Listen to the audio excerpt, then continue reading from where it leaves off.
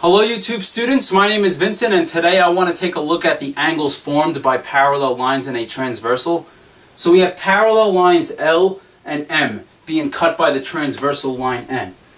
And I want to take a look at the two most important Euclidean postulates which in some sense help develop all of Euclidean geometry. We have corresponding angles are congruent.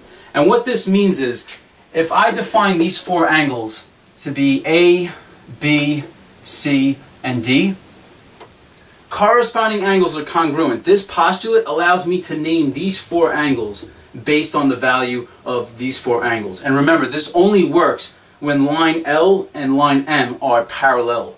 So angle A would correspond to this angle here because both of these angles are located in the top left corner. So this angle here has to equal A because they're in corresponding places.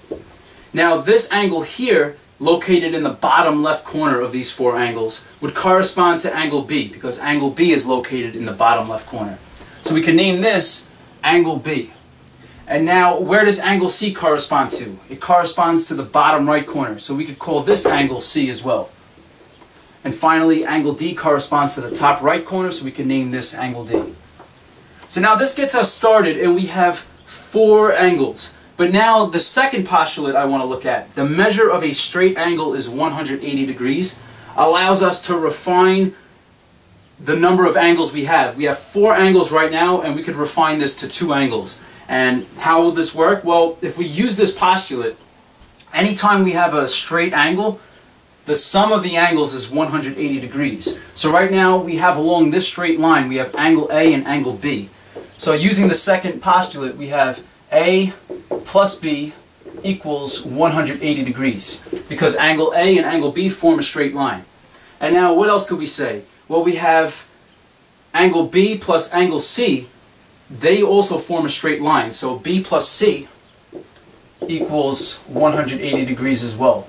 So now using transitivity, we have two expressions that sum to 180 degrees. So those two expressions must be equal.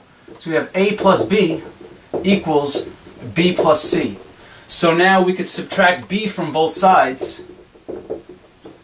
And we have that B will cancel out on the left side and B will cancel out on the right side, leaving us with A equals C. So the measure of angle A equals the measure of angle C allows us to rename this angle here we can name this angle A. We could also do the same up here. We could rename angle C to angle A. And now I want to use a similar strategy to rename angle D. We have on this straight line, we have angle A and angle D form a straight line, so we have A plus D equals 180 degrees. And from before, we have angle A and angle B also form a straight line, so A plus B is 180 degrees as well. So now once again using transitivity we could set these two expressions equal. So we have A plus D equals A plus B and now we could subtract A from both sides and this leaves us with angle D is equal to angle B. So we could rename angle D, we could rename this to be angle B. We could do it on the top section as well. So now that we have, this diagram is simplified to two angles. For the next video, we could look at what, we, what can we say about these angles now? Well, we could say things about alternate interior angles. This will also help springboard to prove the sum of the interior angles of a triangle is 180 degrees. So these two postulates are really powerful for proving numerous theorems that appear in Euclidean geometry. But for now, this is going to conclude this video on parallel lines and transversals. Thank you all for watching, and I hope that it was helpful.